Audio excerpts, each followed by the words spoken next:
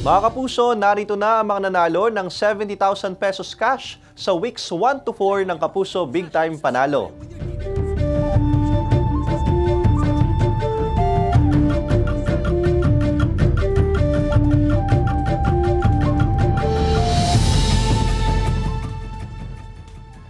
Mga kapuso, hanggang July 5, 2024 na lang, pwedeng magpadala ng entries.